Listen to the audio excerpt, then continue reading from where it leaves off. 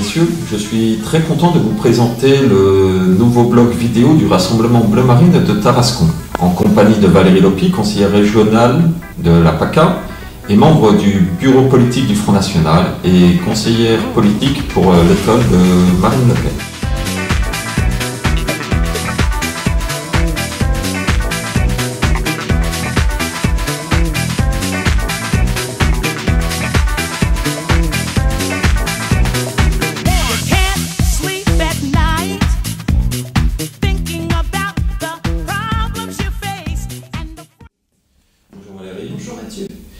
Tarascon, l'entreprise Vitimbal, qui emploie 68 salariés, a connu des difficultés aujourd'hui surmontées. Elle ne pouvait régler deux traites un établissement de crédit bail. Michel Vozel, député et président socialiste de la région PACA, a écrit à Arnaud de Montebourg, le ministre du redressement productif. Quelle est votre position sur ce dossier en tant qu'élu local et représentante du Front National à Tarascon? Je pense que Wittenball est exemplaire de la situation des entreprises aujourd'hui. C'est-à-dire que beaucoup de nos PME, PMI se retrouvent quasiment en faillite, mais ce n'est pas à cause d'un problème de rentabilité, mais à cause d'un problème de financement de leur entreprise, un problème de trésorerie.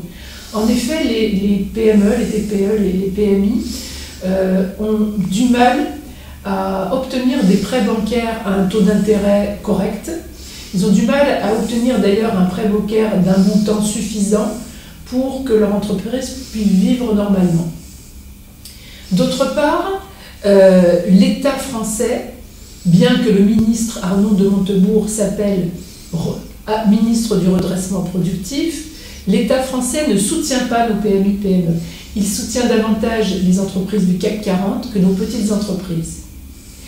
Pour soutenir nos petites entreprises, il faudrait euh, euh, sortir du carcan de l'Union européenne, puisque l'Union européenne nous impose des contraintes drastiques, puisqu'il nous empêche d'avoir un protectionnisme intelligent à nos frontières. C'est-à-dire que nos entreprises sont directement en concurrence avec les pays qui, qui fabriquent un coût de production dérisoire, ce qui fait que nos entreprises françaises ne peuvent pas être prospère.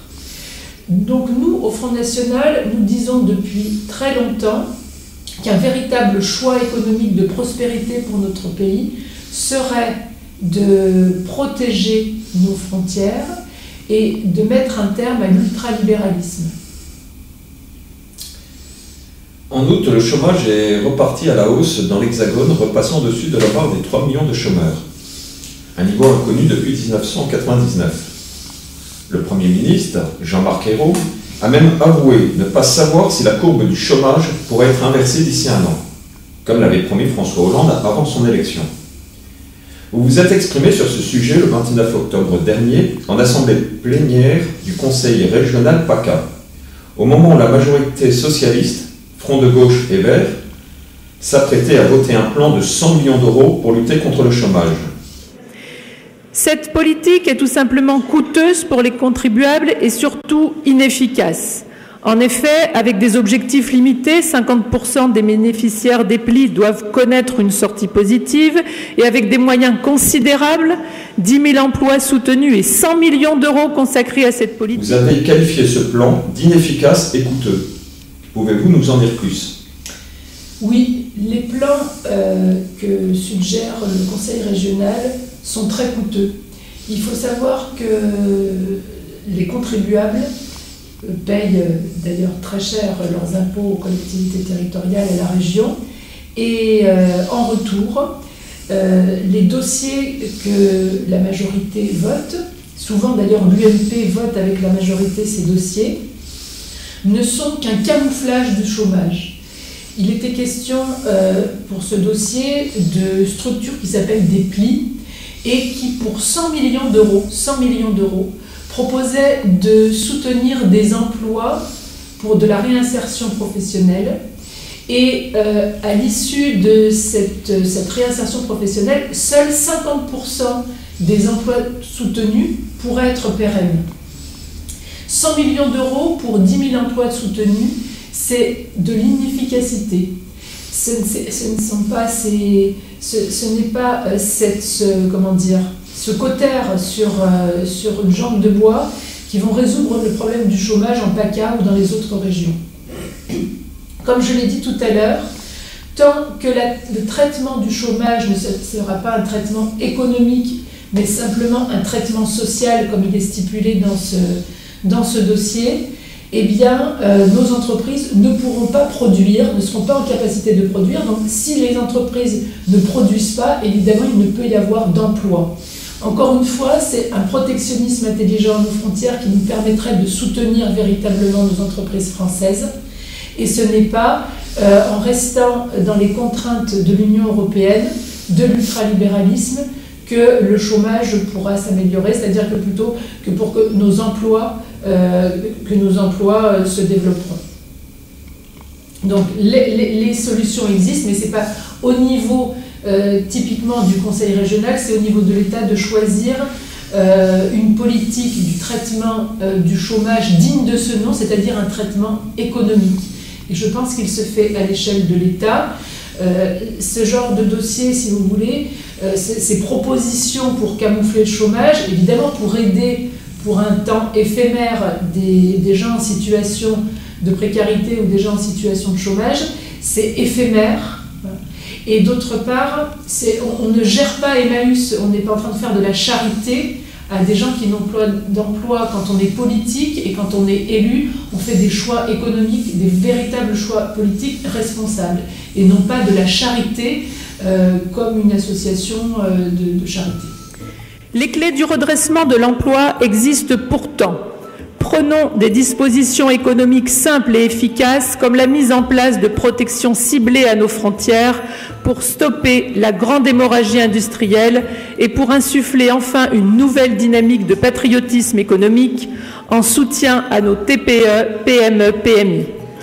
Prendre de telles mesures de salut public suppose de se libérer du carcan étouffant de l'Europe de Bruxelles pour reconstituer notre État c'est parce que nous ne croyons pas à la gestion technocratique euro-régionaliste que nous voterons contre ce rapport. En 2014, les Français vont voter pour les élections municipales. Lors des dernières élections législatives, dans votre duel face à Michel Bozel, vous avez obtenu dans votre ville de Tarascon plus de 57% des suffrages. Votre parcours et votre implantation politique sur Tarascon font de vous la tête de liste idéale. Présenterez-vous au Tarasconnais une liste de rassemblement bleu marine et si oui, pouvez-vous nous expliquer en quoi cela consiste?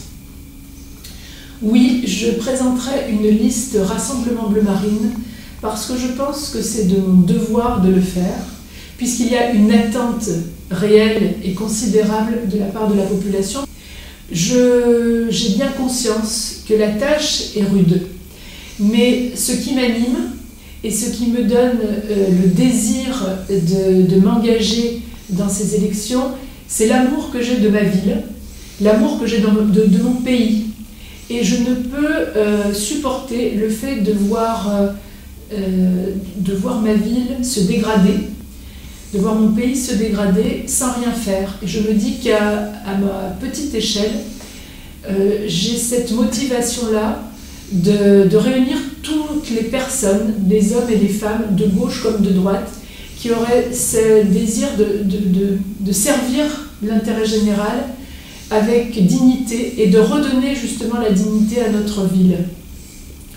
Donc c'est assez humblement d'ailleurs que, je me présenterai à ces élections municipales, puisque ce n'est pas un coup de baguette magique qui, changera le, qui changera le la ville, mais euh, je mettrai tout en œuvre pour être à l'écoute des Tarasconnais et répondre le plus justement possible à leurs attentes, parce que je pense que la mission d'un élu, c'est d'essayer de trouver le juste et, le bien commun. D'ailleurs, euh, j'ai commencé, si vous voulez, euh, non pas à faire campagne, mais à me former en matière municipale, c'est-à-dire de, commencer un travail de réunir des personnes, et je m'aperçois qu'il y a un gros potentiel sur Tarascon, des gens qui sont désireux, donc un potentiel de gens qui, aiment leur ville, qui ont des choses à apporter à la ville, puisqu'il y a des compétences dans chaque domaine de, la vie de la cité. Et en allant aux journées des associations, j'ai pu me rendre compte que des gens avaient le sens de l'intérêt général, des gens dévoués, qui apportaient déjà de par leur association. Et euh, en me rendant aussi aux cérémonies patriotiques, je me dis que euh, qu'il y a encore de l'espoir et que les gens, les patriotes notamment, euh, n'ont pas envie que meure, que meure cette idée de, du, du service à sa cité. Vous parliez tout à l'heure de formation, euh, justement, est-ce que vous pensez euh, qu'au Front National, euh, c'est pas ce qui manque ou est-ce qu'il faudrait pas. est-ce qu'il y ait quelque chose de prévu par rapport à ça? Vous avez tout à fait raison parce que c'est quelque chose auquel je songe depuis le départ. Moi-même, j'estime que, que j'ai besoin de me former, puisqu'on ne sait pas tout. Un élu n'a pas forcément les compétences pour tout, mais il suffit de se former, enfin il suffit, c'est un travail de se former. Et à, ce sujet, il y a une quinzaine de jours, nous avons euh, fait venir euh, le conseiller politique en économie, un des conseillers politiques en économie de Marine Le Pen, Bruno Le Maire, professeur à HEC, ex-professeur à HEC, qui a d'ailleurs eu comme étudiant M. Hollande et, Mme Valérie Pécresse, donc un expert en économie, qui a, euh, qui a présenté euh, la conception du Front National en économie à tous les adhérents du Front National et même à, un public plus large, qui est d'ailleurs venu nombreux parce que les gens ont finalement envie de se former et envie de connaître justement la vision économique du Rassemblement Bleu Marine, puisqu'on a tendance, les médias euh, classiques ont tendance à cantonner le discours du Front National et à cantonner Marine Le Pen un discours sur la sécurité et sur l'immigration. Or, euh, Marine Le Pen avait euh, donné un programme lors de la présidentielle, un programme très précis en économie, avec un chiffrage très précis. Donc voilà, donc nous avons fait venir Bruno Le Maire. Nous pensons aussi faire venir d'autres personnalités qui pourraient, qui pourraient former, on va dire, la population, puis qui pourraient nous aider aussi à constituer une, équipe municipale compétente. Et tout ça est à l'ordre du jour. Et d'ailleurs, samedi 17 novembre à 15h aura lieu une réunion euh, à laquelle nous avons invité Stéphane Ravier, notre nouveau secrétaire départemental du Front National. Et je pense que nous pourrons annoncer à ce moment-là puisque la commission d'investiture pour les candidats à la municipale va se faire dans la semaine qui suit, je pense que je serai à même d'annoncer à la presse, et lors de cette réunion, ma candidature aux élections municipales de Tarascon. Euh, à ce jour, je ne suis pas encore investie, mais ce n'est qu'une question de jours, et donc j'attendrai évidemment d'être investie pour l'annoncer à la presse. Ben, merci bien, et euh, à la prochaine.